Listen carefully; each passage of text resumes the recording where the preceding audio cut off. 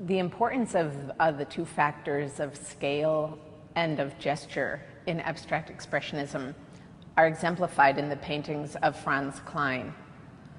Usually with a white background, and then either only with black or with black and some other dark colors in a very sober, somber, but very strong key.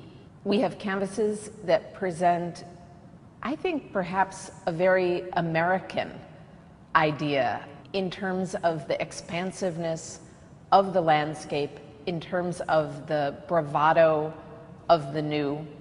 It's easy to make generalizations about how certain American art differs from European art. But in the case of these paintings by Franz Kline, I think it's actually, it holds true. The abstract expressionists saw what they felt were the elegant qualities of European art as something that needed to be replaced with painting that focused on a certain rawness or brutality, even, that seemed to exemplify the New World.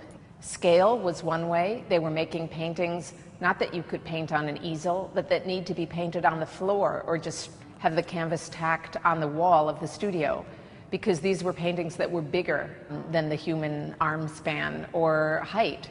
And instead, these were paintings whose scale was going to engulf you. They were not paintings that you were going to dominate, either as a maker or a viewer.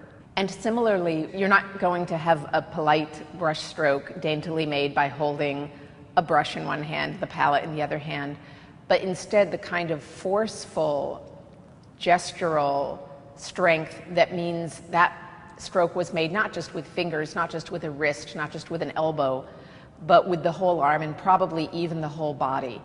And when you look at those marks on a Franz Kline painting, you have the feeling almost of bridges in America or railroad tracks or these other parts of the country that were typical of the technologies and the industry that had set America apart in the 19th century. Franz Kline was one of the regulars at the Cedar Tavern and really a collegial member of the abstract expressionist group.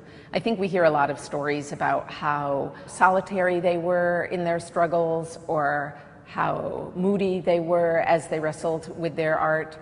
But in fact, that wasn't always the case. There was oftentimes real camaraderie, real helping of each other at difficult stages.